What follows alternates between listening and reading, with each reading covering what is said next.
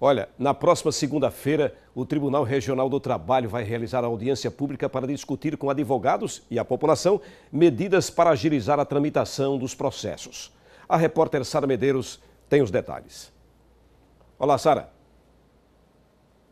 Essa audiência pública ela vai ocorrer aqui mesmo no Tribunal Regional do Trabalho. É uma audiência que é aberta à sociedade. A gente vai saber mais detalhes de que, que vai tratar com o desembargador, o Dr. Tennyson Dória. Dr. Tennyson, é um assunto de grande relevância. Explica para a gente como é que vai ser debatido essa questão da celeridade nas ações de primeiro grau. Pois não. Uh, a audiência pública ela foi convocada, foi uma iniciativa do Comitê de Priorização do primeiro grau de jurisdição. Em que consiste? Qual é a finalidade dela? Pois bem, a audiência ela visa convidar a sociedade a participar através das as suas entidades representativas, sindicatos, federações e associações. Todo o público que vem à Justiça do Trabalho de forma rotineira e cotidiana. Quais são efetivamente as necessidades da população? E é isso que a Justiça do Trabalho está querendo ouvir. Nós estamos abrindo o espaço para que as pessoas, esses órgãos, através de seus representantes, uh, eles são previamente habilitados. Nós já lançamos um ato de convocação.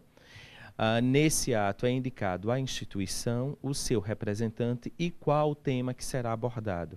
A partir daí, haverá toda uma avaliação é, do que foi, o que, do que nos será repassado, para a partir daí o que é possível ou não implementar. E o objetivo realmente é, do TRT é que esses processos eles sejam resolvidos ainda no primeiro grau para que tenha mais é, celeridade. Sim, a finalidade é que o jurisdicionado ele tenha uma prestação jurisdicional eficiente, célere e eficaz o nosso regional sempre teve essa preocupação de atender a população de maneira rápida. Né?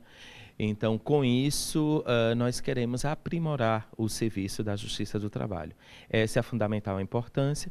E também é, trazer à sociedade a importância da Justiça do Trabalho para o nosso Estado, para o país. Né? Nós que recentemente é, sofremos cortes orçamentários uh, no percentual de 30% na sua manutenção, que é o custeio, e também 90% no investimento.